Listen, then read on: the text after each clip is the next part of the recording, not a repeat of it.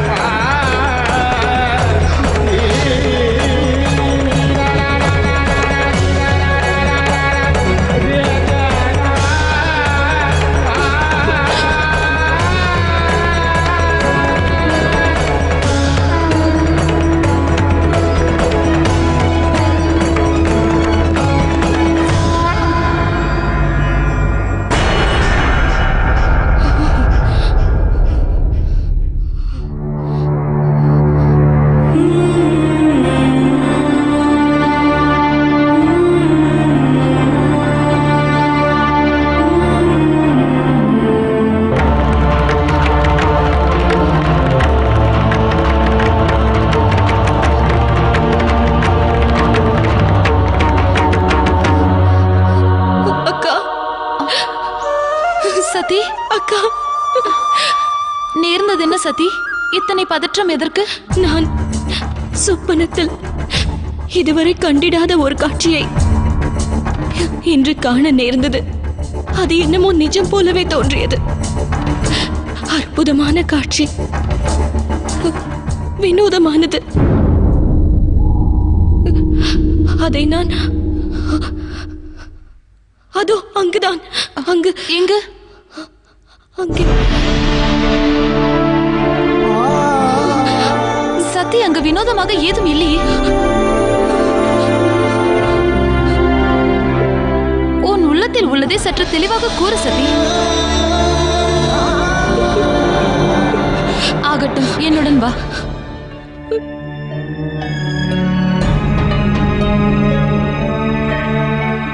அமர்வாய். சற்று அமைதியாக அமர்ந்து கொள்.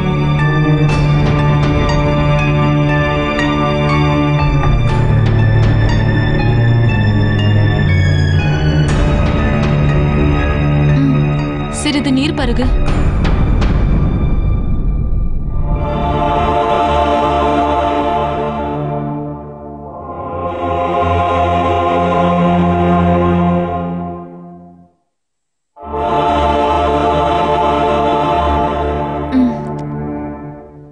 இனி பொறுமையாக விளக்கமாக கூறு. விசித்திர உருவம் கண்டேன். நர்த்தனம் புரிவதையும் கண்டேன். ஆண் பாதியும் பெண் பாதியுமான ஓர் அதிசய உருவம். அந்த உருவம் என்னை நோக்கி முன்னேறி வந்தது. காட்சியில் தெளிவில்லை.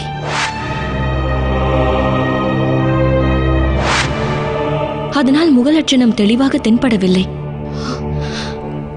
அவ்வுருவத்தோடு நெருக்கம் இருப்பதாக ஏன் தோன்ற வேண்டும்? அதற்கு காரணம் என்ன? அந்த தொடர்பை நான் நன்றாக உணர்ந்தேன். முக்கியமாக அந்த பெண் உருவுடன். இத்தக விசித்திர உருவத்தை நான் கண்டதே இல்லை. அத்தகு கற்பனையும் எனக்கில்லை. இப்படி ஒரு சொப்பனம் ஏன் தோன்ற வேண்டும்? அதோ அப்பர்வதத்தினை சிறு பிராயம் முதல் கண்டு வருகிறேன். எனினும் இன்று அப்பர்வதமானது என்னை கவர்ந்திழுக்கின்றது. அது என்னை அழைப்பது போல் ஏன் தோன்ற வேண்டும்? இதை நான் எவ்வாறு அர்த்தம் கொள்வது? அந்த உருவம் யார்? விளக்கம் கூறுங்கள். அது என் வருங்காலத்தை குறிப்புணர்த்தும் ஏதேனும் சங்கீத செய்தியா? அல்லது என் கடந்த காலத்தின் கசப்பான உண்மையா?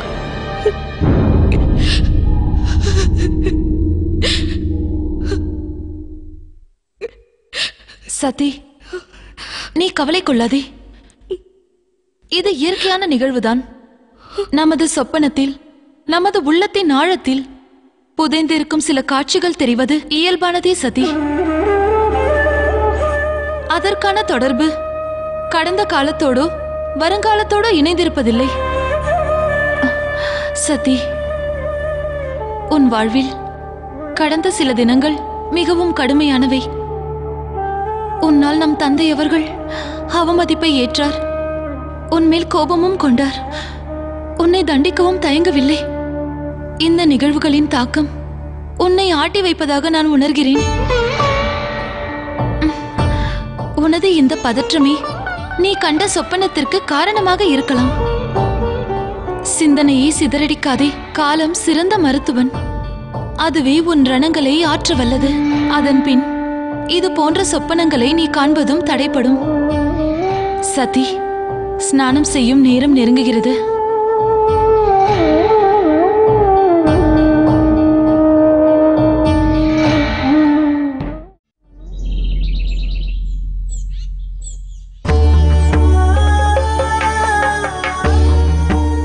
அதித்தி கூறியதும் உண்மையே. அது சொப்பனமாகத்தான் இருக்க வேண்டும். அதற்கு அர்த்தம் கற்பிக்கலாகாது. என் உள்ளத்தினை நான் திடமாக்குதல் அவசியம். இனி இது போன்ற எண்ணங்கள் என் உள்ளத்தை ஆட்கொள்ள நான் அனுமதிக்கலாகாது. காரணங்கள் கூற தேவையில்லை. எது நேரிடினும் சதியை வனத்தில் தனியே விட்டு நீங்கள் வரலாகாது. நினைவிருக்கட்டும். உங்களை மாளிகை திரும்ப சதி ஆணையிட்டாலும் அவளது ஆணைக்கு அடிபணியாமல் இருப்பதே உங்களுக்கு நன்மை புரிந்ததா? அத்துடன் பல்லக்கும் உடன் செல்லட்டும் அவசியம் நேரிடில். சத்தியை சுமந்து வர அது உதவியாக இருக்கும். அக்கா நீ செல்வது அவசியம்தானா சதி? சதி உன் கரத்தினில் ரணமும் ஆறவில்லையே. இந்த நிலையிலும்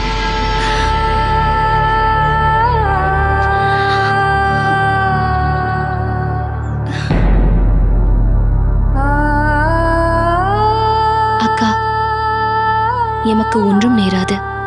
யாம் உறுதியளிக்கிறோம்.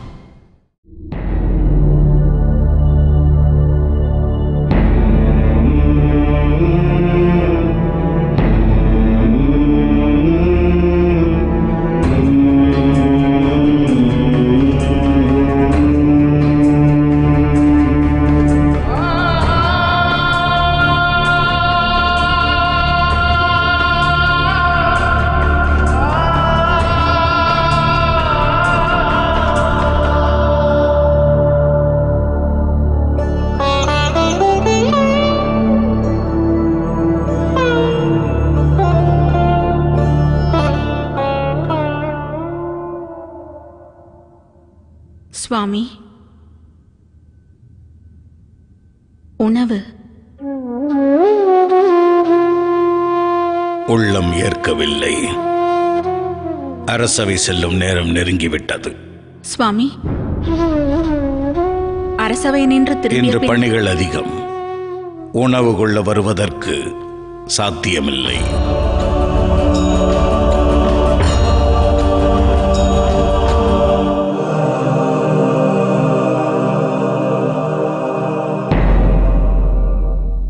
குமுறலை வெளிப்படுத்துவது நிர்கதியற்ற பலவீனத்தின் அடையாளமாகாது சுவாமி.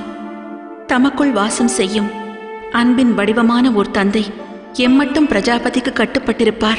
முடிவில்லையா?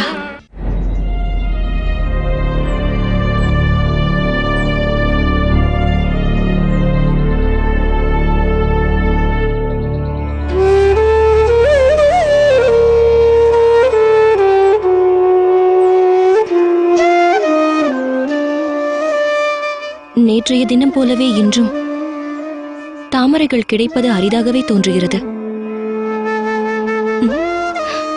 எனினும் ஸ்ரீ விஷ்ணுவின் கருணையால் உகந்ததொரு மார்க்கம் நிச்சயம் தன்னால் வெளிப்படும்.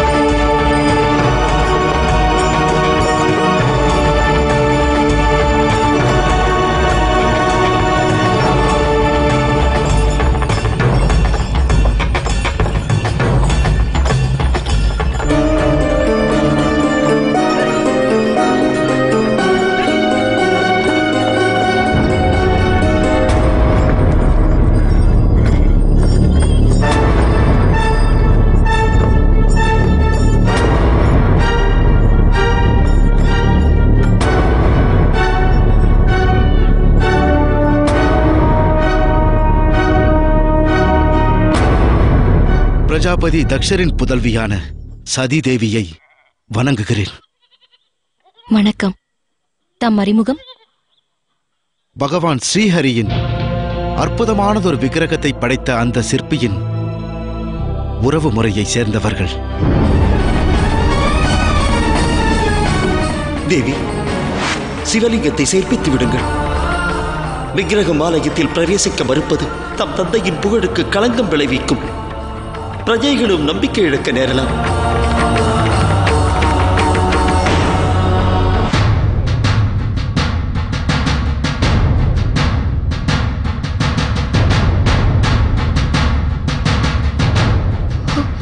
இருப்பினும் தாம் அனைவரும் செல்வது எங்கே? தந்தை பிள்ளையை கிள்ளினார் மகள் தொட்டிலை ஆட்டுகிறாள். ஏதோ மரியாதவள் போல் இதென கேள்வி? இவளால் தானே இன்று நமக்கு இந்த நிலைமை? பரிபூரண சத்தியத்தை அறிந்திராத நிலையில் வாய் திறவாதே. நிகழ்ந்தது தேவியின் தவறல்ல. இவர்கள் என்ன கூற விரும்புகிறார்கள்? நேர்ந்தது என்ன? விக்கிரகத்தை ஆலயத்தில் பிரதிஷ்டை செய்த தினத்தன்று நிகழ்ந்த சம்பவத்தினால் பிரஜாபதி கோபமுற்று எங்களை தேசத்திலிருந்து வெளியேற்றி இருக்கிறார் என்ன?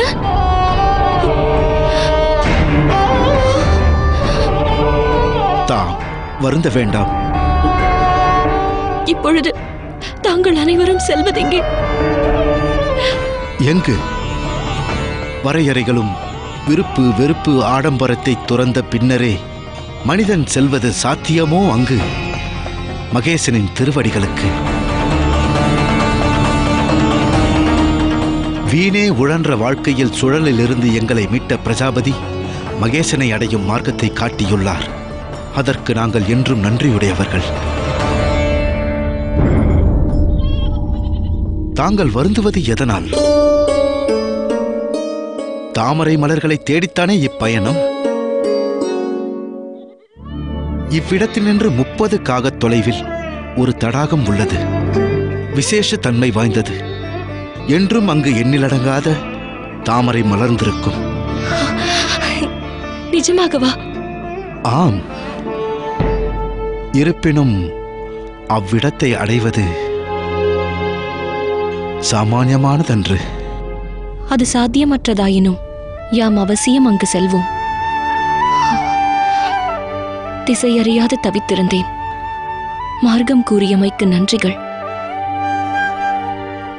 நாங்கள் விடை பெறுகிறோம்.